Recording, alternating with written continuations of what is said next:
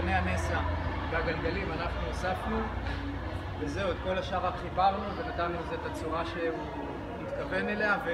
ומי שמכירים את הקווים של אד היינמן, רואים בתכנות של הכנפיים האלה את הקווים העדינים והמדהימים שלו, אה, וגם אה, מהנדסי אווירונאוטיקה שלא התחילו, אה, לא רק היום, גם בשנות ה-50 וה-60 קצת דילגו על התקופה הזאת, אז הם באים היום לכאן ורואים איך בשנות ה-20 תכננו ובנו כנפיים, אז זה בעצם משלים להם איזושהי תפיסה שכל כך